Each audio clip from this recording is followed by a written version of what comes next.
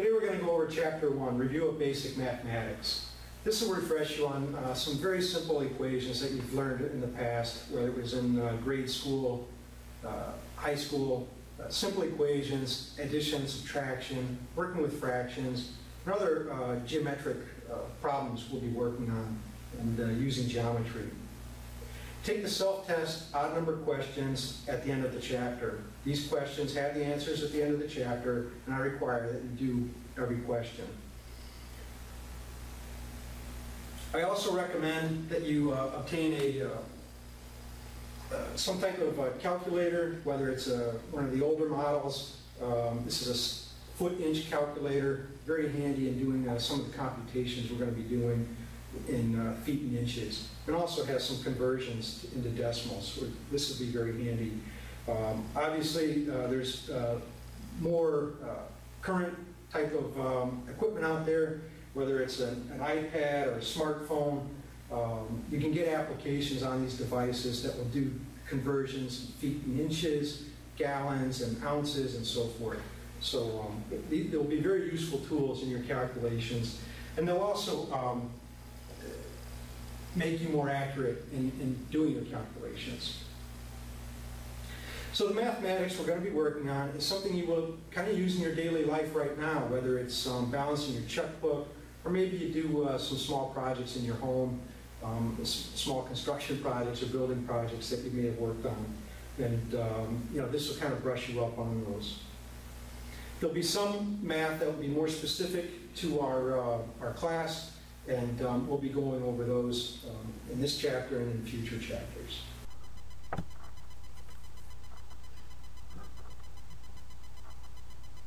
Chapter 1 Review of Basic Mathematics.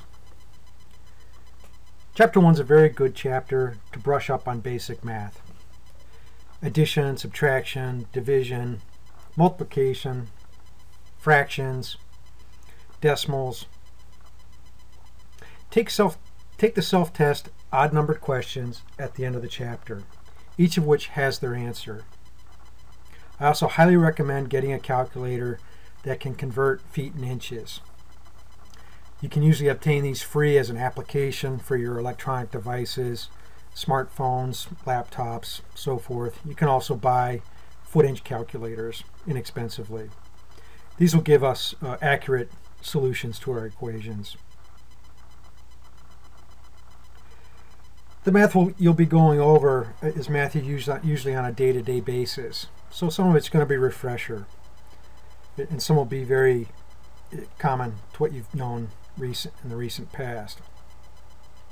Some math will be a little more specific to the HVAC technician and your career. Do not take the self-test questions 76 through 80.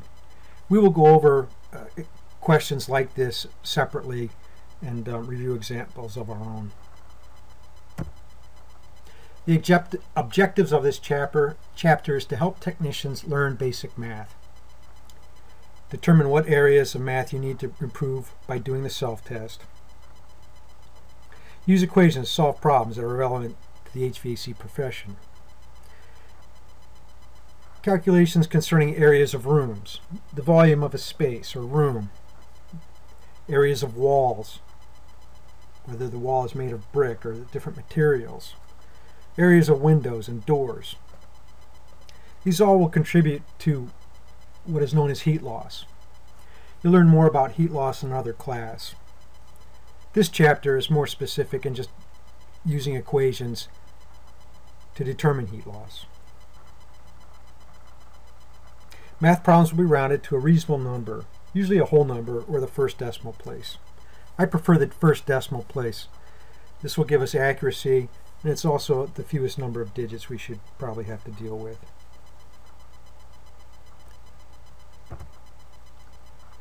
The purpose of the chapter is for the successful technician to have a basic understanding of practical math. The chapter does not teach math but test your math skills.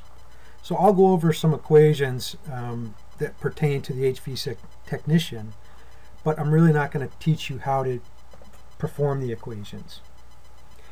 That is something you probably should have learned earlier in your education. And if it if you're a little weak in some areas, it's a good time to brush up or study further on some of the equations um, you need to master.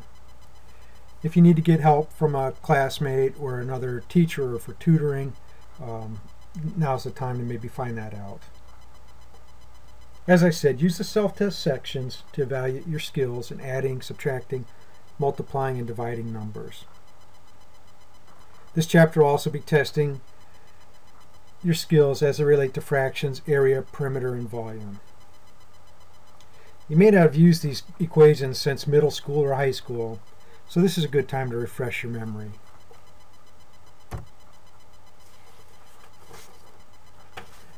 You're going to ask yourself, why is this chapter important? Well, this is going to be a foundation um, that will help you in your career as an HVAC technician. Understanding basic mathematic principles will be an important component to being, to being successful. A few practical things that will apply to is calculating superheat and subcooling. Superheat is the amount of heat that the evaporator inside a unit picks up after the last of the liquid refrigerant is evaporated. Subcooling is the inverse. Both important to determine stability of a refrigeration system. You'll learn more about subheat, superheat, and subcooling in other courses. But the mathematics you'll learn in this chapter will be applicable in determining superheat and subcooling. The chapter is also important important for you to brush up on your mathematics that might be used to, calculate uh, service tickets. A service ticket is a form that your company may have that will list or itemize materials used for a project, quantities of liquids, that type of thing that you'll have to add, subtract, multiply, divide, come up with a with an accurate um, summation of say materials or cost. Determine the area of a volume of a building or load calculations. Measuring installing ductwork and piping. You need to know how much of material you're going to need on a project. Quantifying those materials, adding them or subtracting them, is what this chapter is little is more concerned with.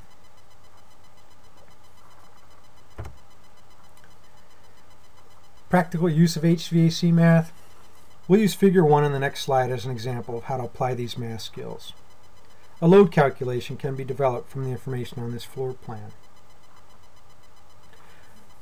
Lo load calculations, as an example, require a certain amount of air conditioning equipment or heating equipment. And it's that equipment is sized based upon the size of a room the amount of heat load or heat loss um, for that particular room. If the room is surrounded by glass, well, the heat loss and heat gains are going to be different if, than if that room was surrounded by brick, with brick walls. Likewise, if the room is 50 square feet, it's going to have a different piece of equipment than if that room was 10,000 square feet. So the equipment may be smaller or larger, depending on the size of the room you're going to be using. All right, let's refer to figure 1-1 here. Notice under the, floor, under the words floor plan, excuse me.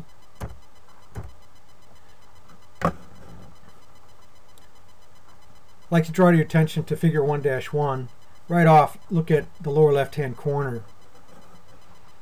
You'll see the word floor plan. This is the title of the drawing. This should be listed on every drawing that you're uh, going to be working on or looking at. It helps you understand what drawing it is. So in this case, it's a floor plan. Also underneath that word floor plan you see scale 1 8 inch equals 1 foot 0 inches. That's the scale of the drawing. For every 1 8th of an inch that you measure with your scale or ruler, that equals to 1 foot in real world. The drawing has calculated the dimensions for you. What that means is there's dimensions up here for the overall length of the building, 49 foot 4, and the width of the building, 40 foot 8. Then there's other dimensions listed here uh, that actually looks like they locate columns that are inside the building. Here on this side, the, it appears that the uh, there's these two dimensions locate the center or the center line of the building. Sometimes dimensions aren't always listed on the print that you're working on. In that case, you'll either need to, uh, if it's important for an equation that you're working on, working on, um, contact the architect, the building owner, or in, in um, worst case scenario, you might have to actually scale the drawings, um, which is not recommended, but if that's all that is available to you, then that's what you will have to use.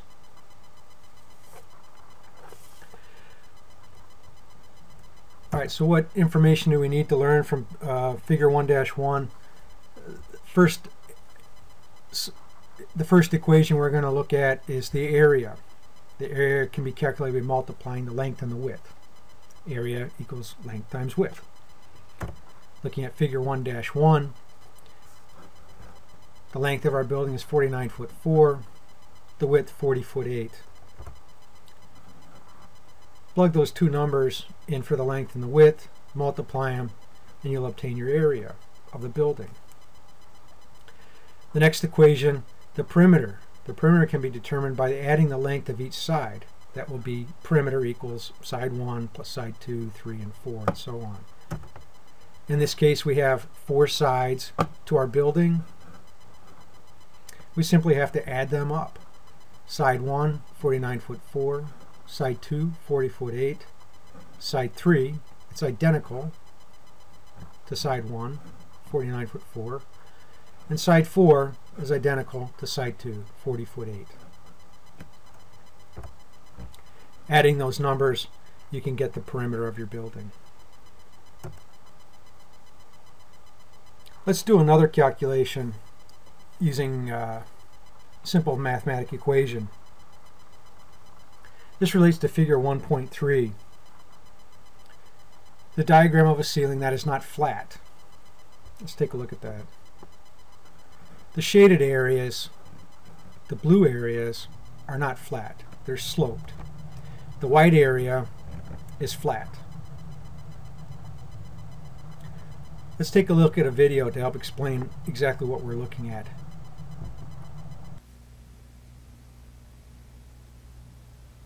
All right, one of the problems in the book refers to a cathedral ceiling, and I'll go into a little more detail about how to calculate the area for a cathedral ceiling. But I thought I should do a little sketch to help you visualize um, what it is we're talking about when we say uh, what is a cathedral ceiling. So uh, in the book, you'll see a, a, a drawing like this uh, with these angled portions. This is actually what's called a reflected ceiling. So you're standing on the floor of a room or a space of any sort, and you're looking up. And this is what you're going to see in a flat plane. Now, to understand a little bit better what the ceiling looks like, I'm going to do another drawing. It's called a, a section, or building section. So we're actually standing right about here. We're going to cut a line through the room, through the ceiling, looking in that direction. So looking at the back of the room. So now, as you see the sketch, kind of helps you show what these angled lines mean. Well, Actually, um, this is what's considered a cathedral ceiling. There's all types of cathedral ceilings, uh, but generally it means that there's a different plane or a different surface on the ceiling than just a flat plane. So here, these angled lines represent what's happening on the ceiling here and over here.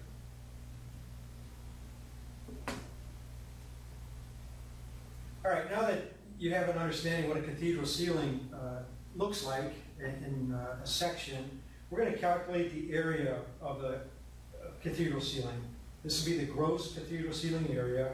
This is figure 1.3 on page 11 in your book. I read up here on uh, the information on the drawing.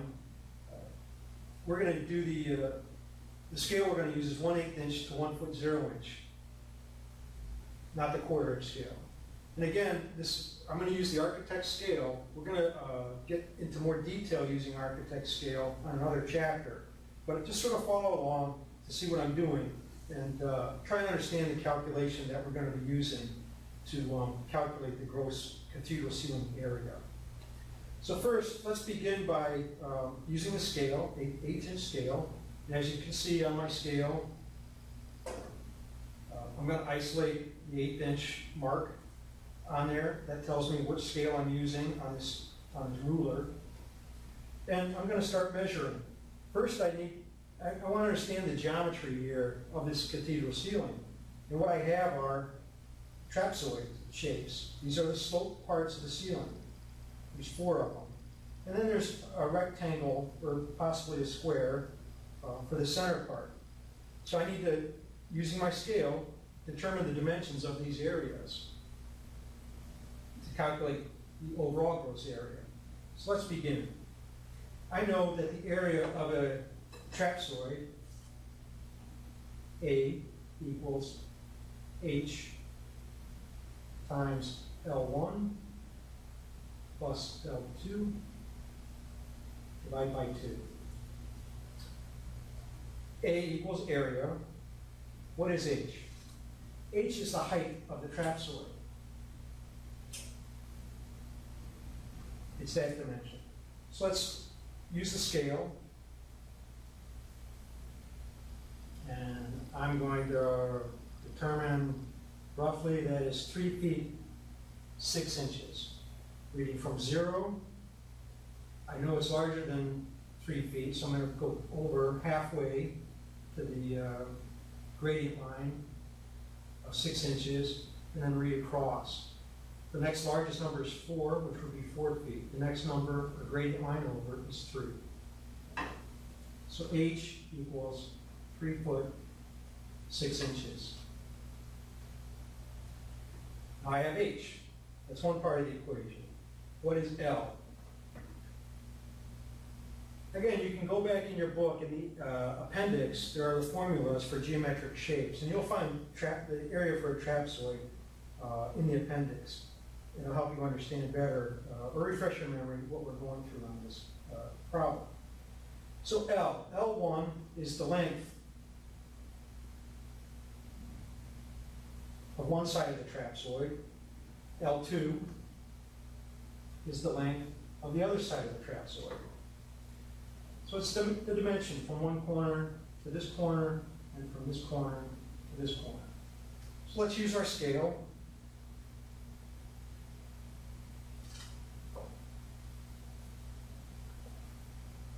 Again, I'm going to line up zero at the corner and read across.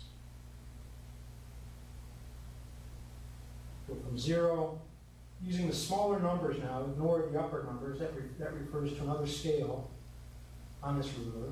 So referring to the smaller numbers, I go 4, 8, 12, 16, then going 1, 2 over gives me 18 feet. So L1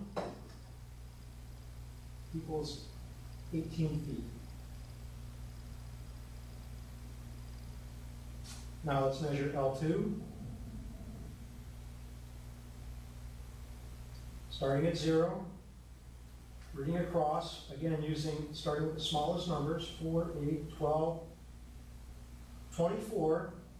The next increment over is one more foot, which is 25. Again, ignore 34. 34 pertains to another scale on this ruler. We're using the lower numbers here. 24 plus 1 is 25. L2 equals 25 feet. Now we have the data that we can input into this formula. So A, its area, equals H, three foot, six inches, times L1, 18, plus L2, 25, divided by 2. I'm going to use my foot inch calculator to do the equation.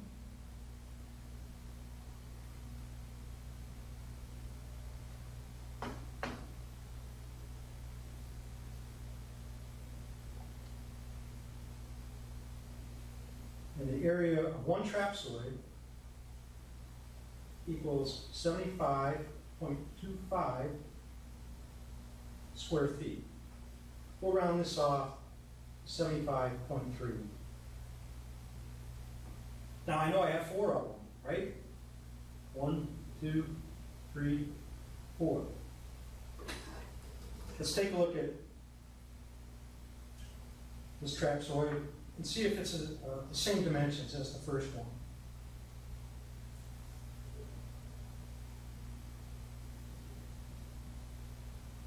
Starting with zero, reading over, 18.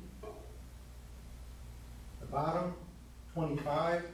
So this is a square with four identical trapezoids on it.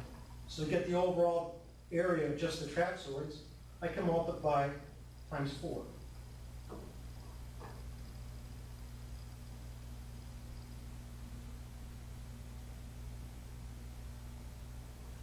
Three hundred and one point two.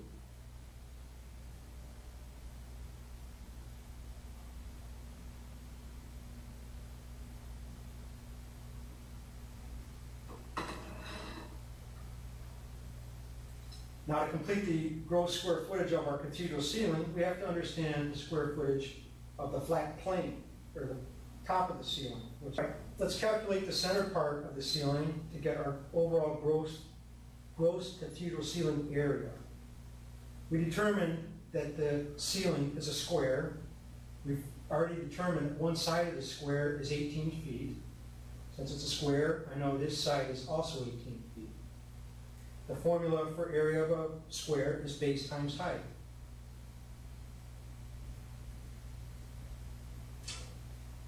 In this case, 18 times 18.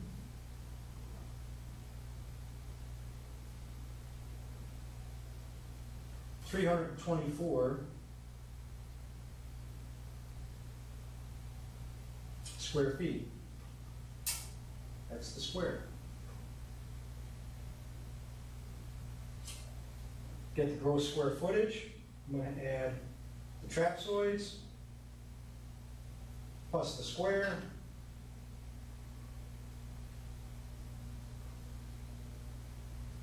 Gives me a gross square footage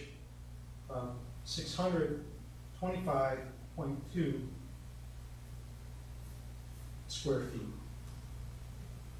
And again, keep in mind, we used the eighth inch scale to perform this calculation on this sketch. We'll get in greater detail using the scale on another chapter.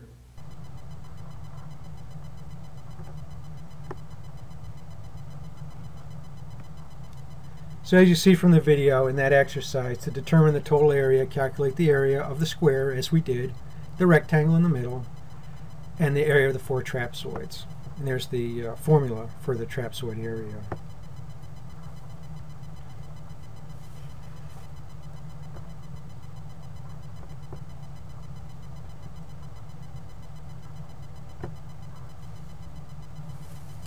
Now using another example,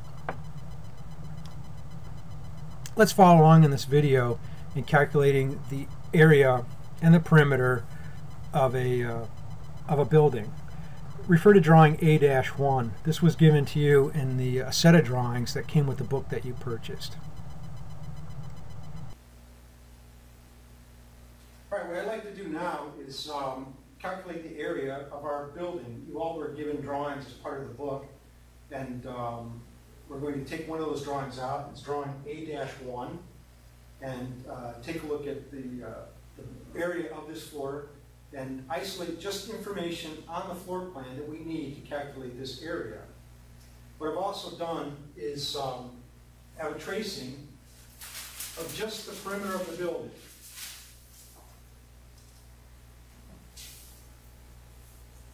You see outlined in red, we have the exterior walls of the building. This will be important for our calculation. This is all we really need to know at this point to determine the area of our building. Um, In addition to the walls, we'll need to know the dimensions. Now, I know you can't see the dimensions uh, exactly on this drawing here in the video. That's why I asked you to refer to the drawing that was given to you while we go over this video.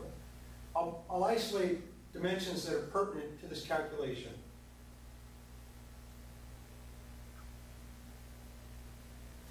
So we, we've isolated the perimeter of the building in red here.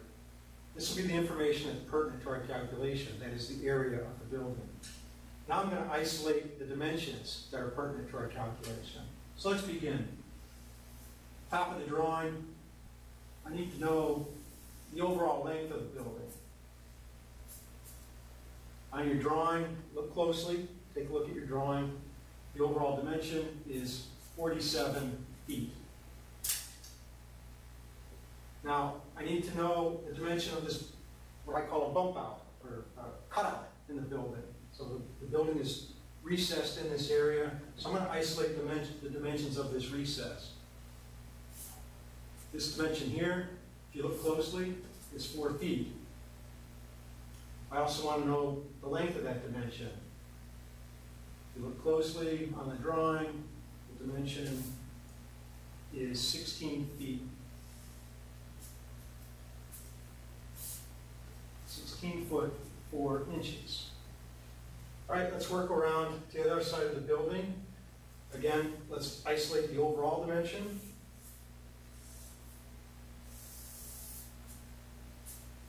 Look closely, I see 50 feet. And then the cutout, what is that dimension? The depth of it, 3 feet 8 inches. And the overall length,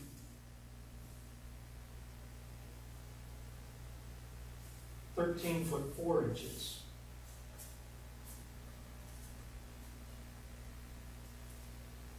All right, we have two sides of our building's dimensions. Let's take a look at the bottom here. We know the overall is the same, that lines up. Our cutout uh, is identical, it's four feet in depth and 16 foot four inches in length. So I'm not gonna mark that down, we have those dimensions up here, we know it's identical. And then the other side of our building uh, is exactly the same as the right side of our building, 50 feet. And as you see, there's no cutout, so I don't need to add any more information to this side of the building.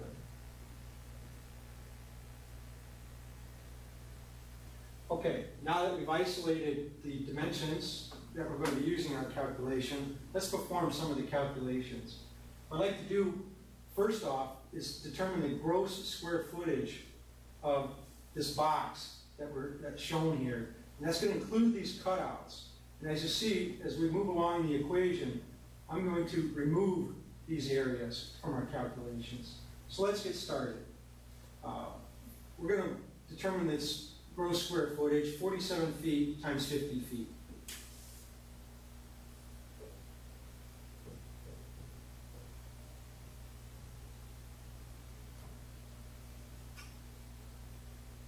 So 50 times 47, it gives me 2,350 square feet. Now, this is not the area of our building, okay? We need to subtract these cutouts that are inside the building, or that recess into the building. So let's figure out what those areas are. All right, this first cutout of the building is uh, four feet uh, deep by 16 feet 4 inches long. So let's write that up here. 4 feet times 16 feet 4 inches. Okay? Now refer to your drawing and you'll see where I've got those dimensions from. All right, now this is important. Now we have our first calculation where we're using feet and inches. So using a, a calculator that calculates in feet and inches, I'm going to calculate 4 feet times 16 feet 4 inches. And that gives me a square footage of 65.3 square feet.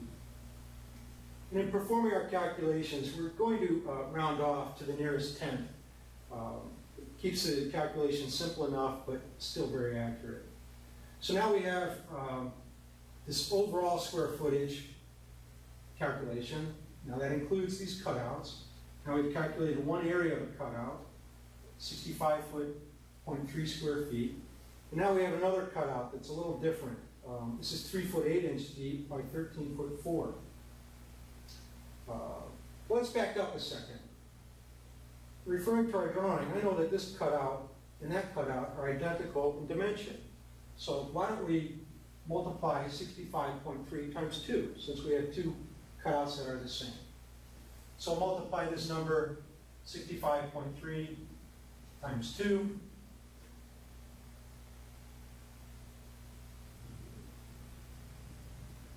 And that gives us 130.6 square feet.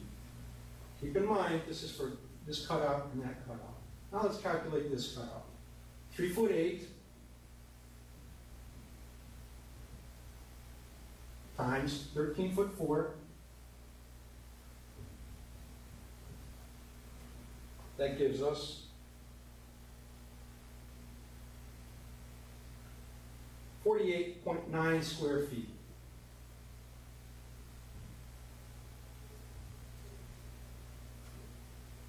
At this point, we have all the information. Now let's calculate the cutout uh, on the side of the building. We know it's different because of the dimensions. It's three foot eight inch deep by thirteen four inches uh, wide. Three foot eight inches times thirteen foot four. Again, look at your drawing carefully to find these numbers.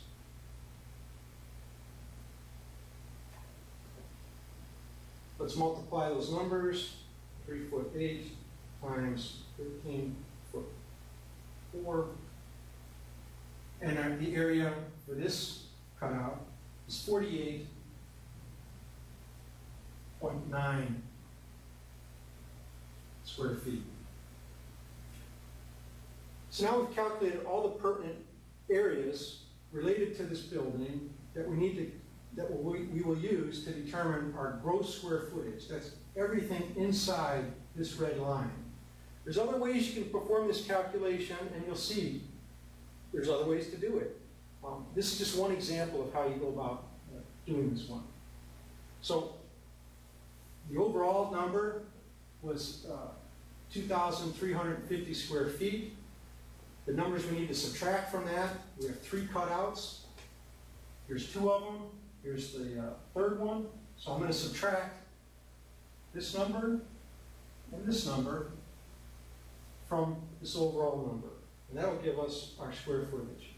So 2350 square feet minus 130.6 square feet minus 48.9 square feet. Our gross interior square footage of this building is 2,170.5 square feet. Now you ask, why do we need this number? Well, in, an HVAC technician is going to need to know the gross area of the inside of a building to determine uh, heat loads and heat losses. And there's other calculations that we'll be using um, in this class and in future classes, or other classes you may have taken already, where uh, this will be one piece of the information that will go into that equation to determine heat loss.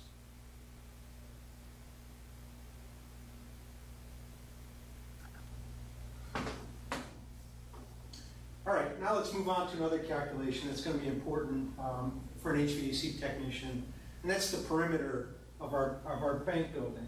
Again, you're going to look at uh, drawing A-1, uh, same drawing that we looked at for the uh, square footage calculations. And we're going to isolate just the information we need to know to calculate the perimeter. Now, the perimeter is going to be adding up all these wall segments going around the building all the way around until we add up each one of them. So again, I've used the, um, I have some tracing paper here that I'm gonna overlay on top of our drawing. Like I said before, I recommend doing this when you're performing calculations. That way you can, um, perform your calculations, mark up the drawing as you need to on tracing paper without affecting the drawing. Um, So you always have a clean copy of the drawing available. Okay, so let's begin. Again, let's isolate just the information that is pertinent to our calculation. We're going to be determining the perimeter of our building, so we need to know the length of each wall segment. So here, this wall segment, and I know you can't see the di- dimensions on the video, so please refer to your drawing, and you'll be able to see them uh, much more clearly. All right, so this line segment is 15 feet four inches. We're just gonna work our way all the way around the building. The next one, remember the cutout, that's four feet, zero inches. And the length of the cutout, if you remember, sixteen foot four inches. All right, so we have this dimension, this one, this one. We know this is the same as that, so that's four feet. Now let's determine this dimension. Again, look carefully on your drawing, and you'll see it's already labeled for you, 15 feet, 4 inches. All right, let's continue around the side of the building.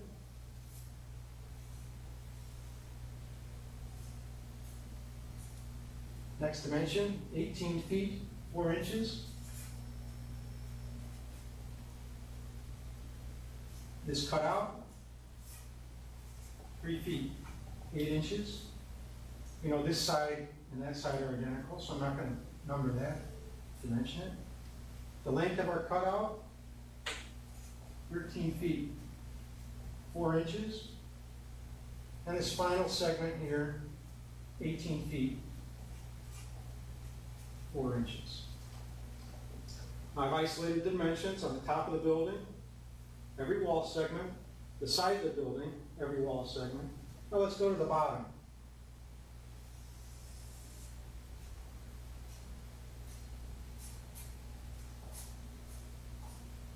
Fifteen feet four.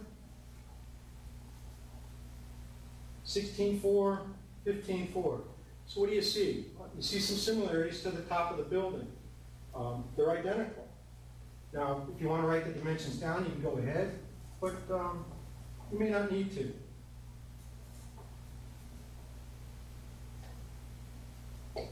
The overall length of the last side of our building, you can look at our drawing, and you'll see that the uh, dimension is 50 feet, 4 inches.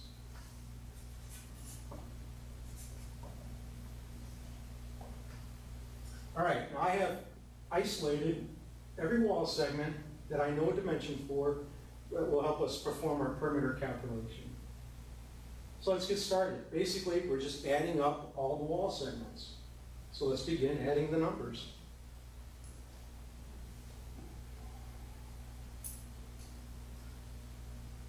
Fifteen foot four. Uh, Next segment is four feet.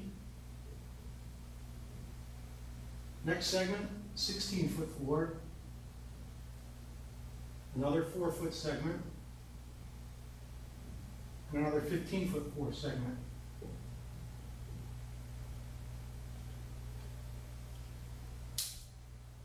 Using our footage calculator, let's add them up.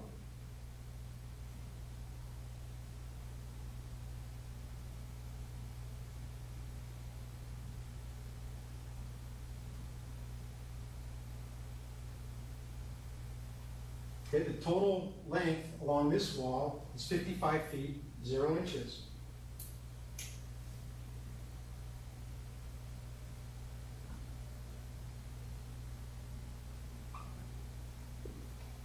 Let's continue now along the side of our building. 18 foot 4, 3 foot 8, 13 foot 4, another three foot eight, and finally eighteen foot four.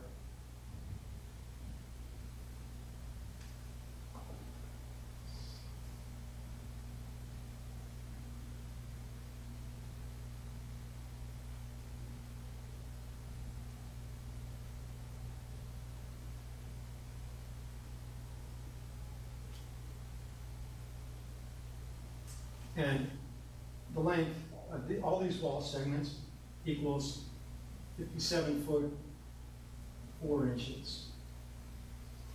We'll call that lineal feet. That's lineal feet of wall, exterior wall in this case. Now we know that the top of the uh, bank building here, this, these wall segments are identical to these wall segments. So we can multiply the number we've calculated for the top by two. So that, that would give us these two lengths. We have this one, our last segment is 50 feet, oh, excuse me, it's 50 feet, zero inches, not 50 foot four.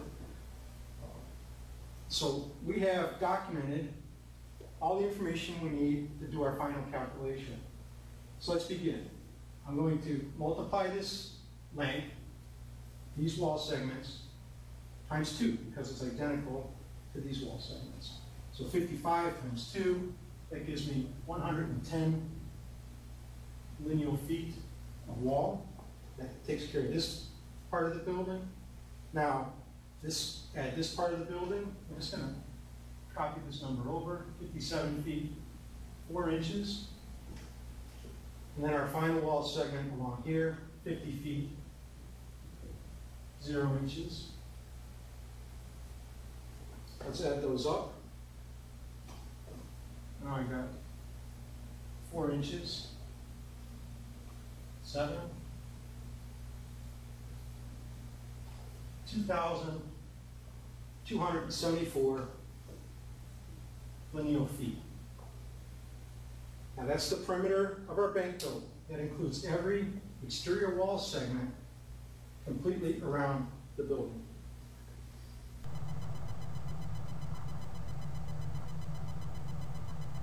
So as you see from the video, the area of the drawing can be calculated by multiplying the length and the width.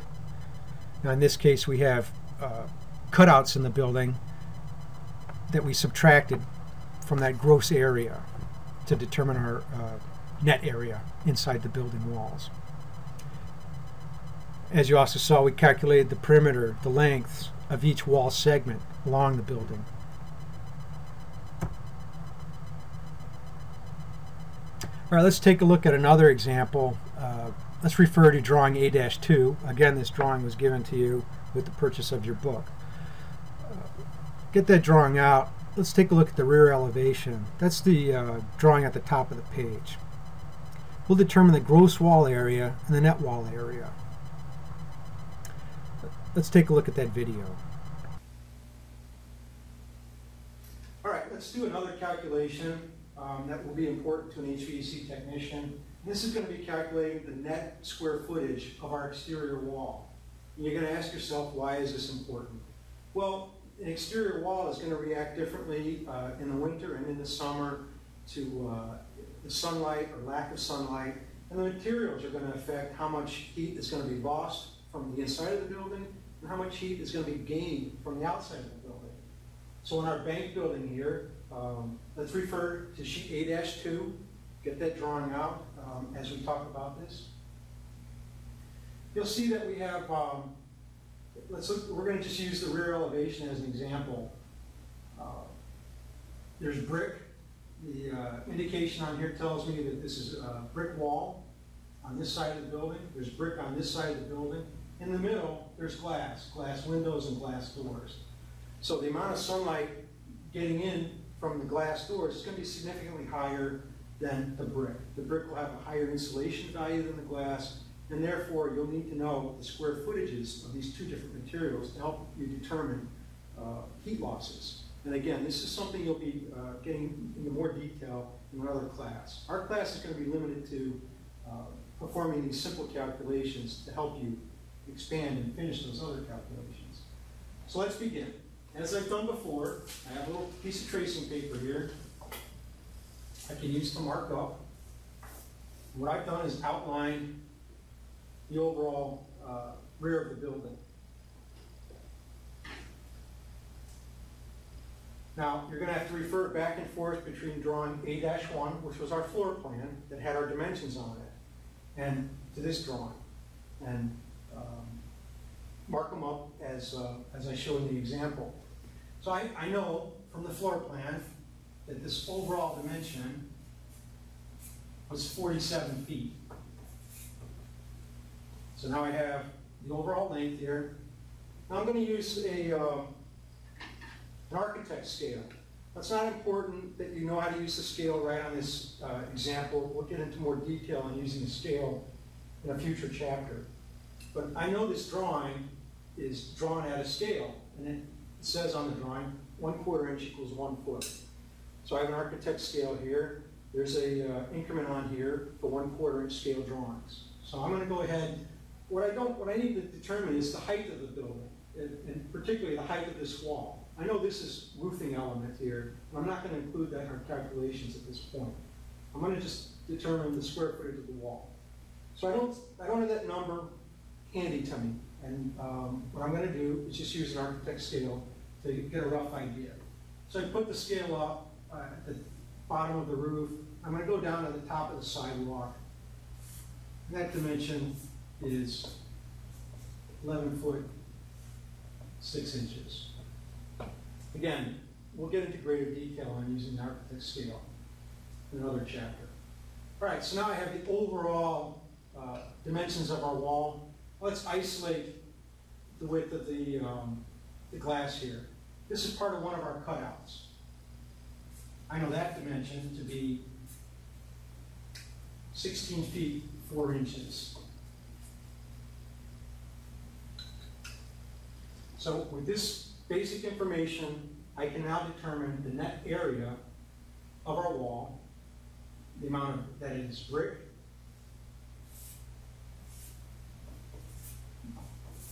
the amount that is glass. So let's go ahead and do the calculation.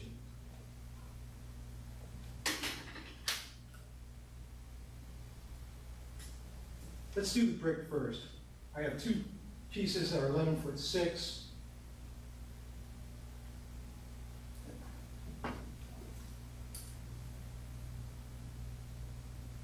All right, let's go ahead and perform the calculation. First, I'm gonna calculate the overall square footage of the entire wall. So that's a simple mathematical equation, right? Forty-seven feet times eleven foot six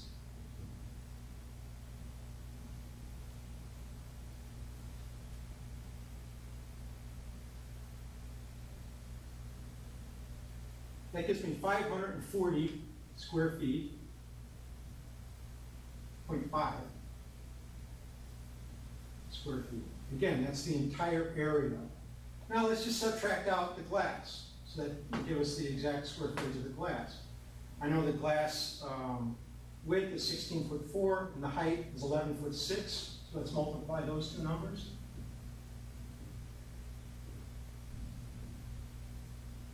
Again, use the footage calculator. This will make your life much easier, and you'll have um, more accurate computations. One hundred seventy-eight point eight square feet. Glass.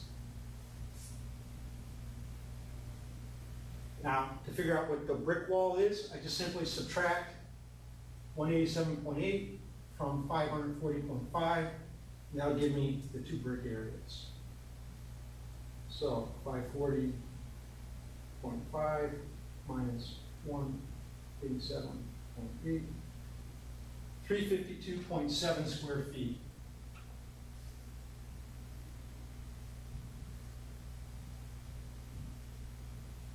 Brick.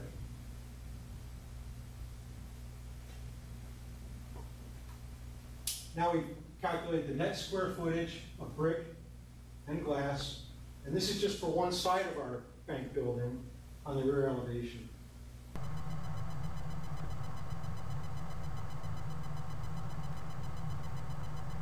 So as you saw in the video, the formula to find the net wall area is we calculated for the brick. Um, net wall area of brick was the gross wall area. We measured the height of the building. We knew the length of the building. Got the gross area of that wall. And then we subtracted out the glass area, the windows and the doors. And what was left over was the area of the two pieces of brick wall on either side.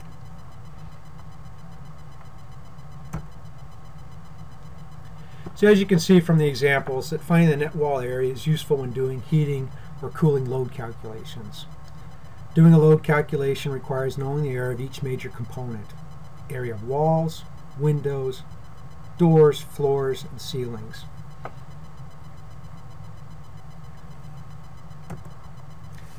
Okay, let's take a look at a few uh, other practice problems here. Different shapes um, that are kind of exemplary of uh, shapes you might be running into as a HVAC technician. Practice problem number one. Find the volume of a room to determine required tonnage with airflow rate of 400 CFM per ton. the first thing we should do is isolate the formula that we're going to use. And again, all these formulas are in the appendix of your book. So determine the volume, our formula is width times height times length. And those are labeled here.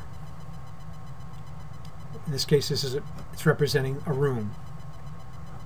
The length of the room is uh, 50 feet. The height is 8 feet tall. And the width is 20 feet.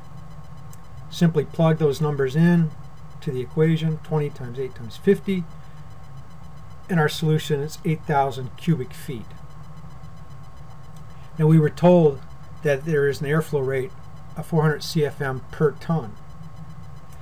So we divide 400 CFM into 8,000 cubic feet. We get our answer 20 tons of air required. And we get our answer 20 tons of air required.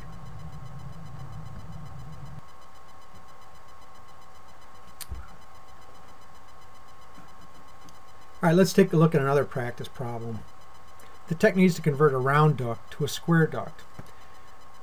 Say you have a customer who needs to replace some ductwork in a building, and instead of using round duct, they would prefer square duct. Um, perhaps the uh, size of the space changed, uh, or there's some other limitations to the project where round duct is no longer required. So we're going to switch those out. So first we have to determine the area of this round duct. The duct overall diameter is 12 inches. That's from one edge of the circle to the other edge of the circle, or duct in this case. If you refer to your appendix, you, will see that the area of a circle is pi r squared. Pi is a Greek symbol, and pi is a uh, mathematical symbol for the ratio of the circumference to its diameter. And it always is 3.14. r is the radius. Well, we know that diameter is 12, and the radius is half of that. So our radius is 6. So let's plug in those numbers to our equation. 3.14 times the radius times the radius, 6 times 6, is 113 square inches. So we know the area of the square duct needs to be 113 square inches. I know from experience that a, a 6 inch by 19 inch duct would be a close match. For our purposes today, I'm more concerned with you understanding the area, get solving the equation for the area of a circle, or in this case a duct. Um, learning more about an equivalent square duct will take place in another course.